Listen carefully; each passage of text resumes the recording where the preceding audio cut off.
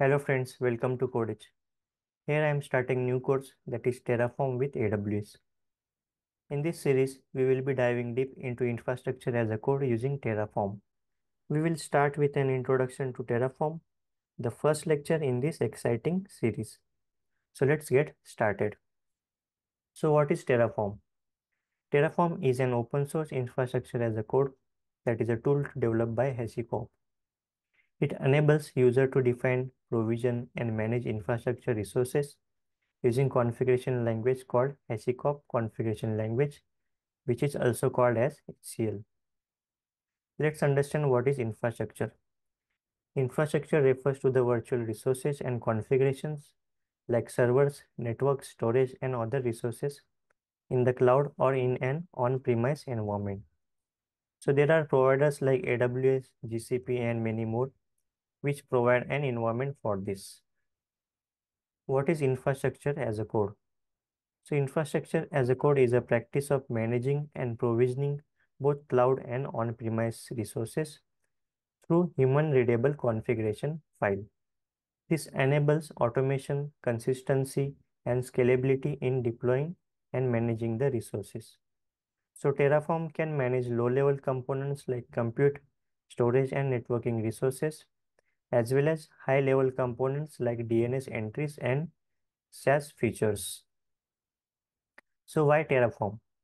So let's understand the challenges with traditional IT infrastructure. So first challenge is complexity. So managing infrastructure manually or using script can lead to complexity and inconsistency and also prone to human error. Next is a slow provisioning time. So traditional infrastructure provisioning method often involve manual steps and lengthy approval process, resulting in slow deployment times and delay in the project delivery. Next is a lack of version control. So changes made directly to the infrastructure are not tracked or version, which leads to potential error or difficulties in reproducing environments. Next is a vendor lock-in and limited portability. Using proprietary or cloud-specific solutions can result in vendor lock-in limited flexibility and portability across different environments or cloud providers. Next is the scalability. So scaling infrastructure manually can be challenging, especially in the dynamic or rapid changing environment, leading to inefficiencies and resource underutilization. And last is the inconsistent environment across development, test, and production environment. So differences in the configuration between dev, test, and prod environments can lead to deployment issues and performance discrepancies. So how Terraform solve these challenges? So first is using infrastructure as a code. So Terraform allow infrastructure to be defined and managed as a code, which enables automation, versioning, and collaboration. Next is the declarative configuration. So Terraform declarative syntax simplifies the infrastructure management by describing desired state of infrastructure rather than specifying the step-by-step -step procedure. Next is a multi-cloud support. So Terraform support provisioning resources across various cloud providers, allowing user to avoid vendor lock-in and promoting portability. Next is a scalability and consistency. So Terraform state management, resource graph, and execution plan ensures consistent and scalable infrastructure provisioning. Next is a track infrastructure. So Terraform generate a plan and prompt you for your approval before modifying your infrastructure. And last is a collaborate. So as configurations are written in the file, so it can be version control using version control system, which can be efficiently managed across the team. So now let's understand how does Terraform work. The core Terraform workflow consists of three stages. So first stage is write stage. So you define resources using HCL in the configuration file, which may be across multiple cloud providers and services. For example, you might create a configuration to deploy an application on Amazon EC2 instance in VPC network with security group and load balancer. Okay. Next is the plan phase. So in the plan phase, Terraform create an execution plan describing the infrastructure it will create, update, and destroy based on the existing infrastructure and your configuration. and last stage is apply. So on approval, Terraform perform the proposed operation in the correct order, respecting any resource dependencies.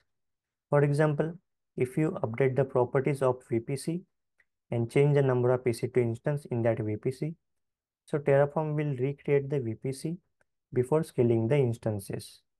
Now let's understand the HashiCorp configuration language. So Terraform uses HashiCorp configuration language for writing the infrastructure configuration. So this is one of the sample configuration for creating Amazon EC2 instance.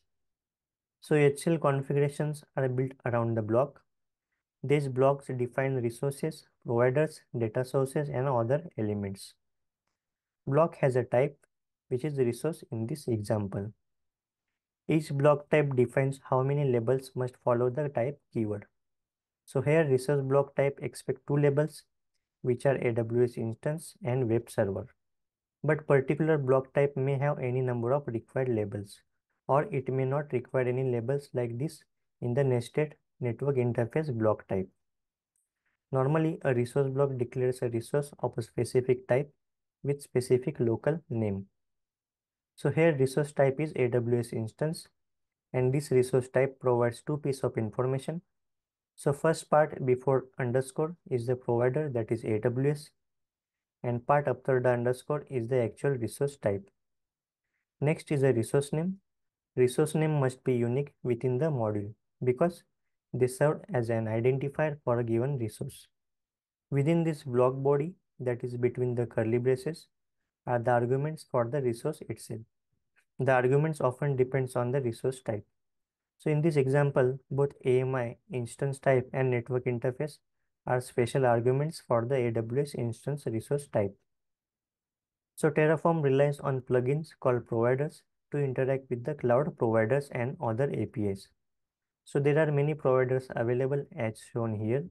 You can refer to the official Terraform documentation for more information on the list of providers.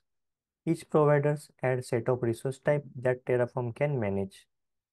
So these are the some example of resources with different providers.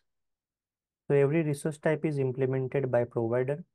Without provider, Terraform can't manage any kind of infrastructure. Each resource type will have number of required and optional argument. For example, for creating S3 bucket, bucket is required argument and tag is optional argument. Okay, so this was just an introduction on the Terraform. In the next lecture, we will install Terraform and create our first resource in the AWS cloud using Terraform.